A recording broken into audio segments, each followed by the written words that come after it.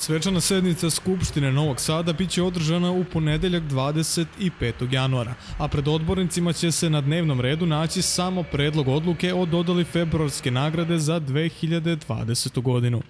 Za dobitnika ovog prestižnog gradskog priznanja Komisija za obeležavanje praznika i dodelu priznanja predložila je profesora doktora Vladimira Petrovića, epidemiologa, redovnog profesora na Medicinskom fakultetu u Novom Sadu i direktora Instituta za javno zdravlje Vojvodine. Profesor dr. Vladimir Petrović je prema rečima predsednice Novosadskog parlamenta pre svega veliki stručnjak, epidemiolog koji je vodio borbe protiv svih velikih epidemija u Vojvodini u proteklih 10 godina, kao i autor i koautor više od 90 naučnih i stručnih radova.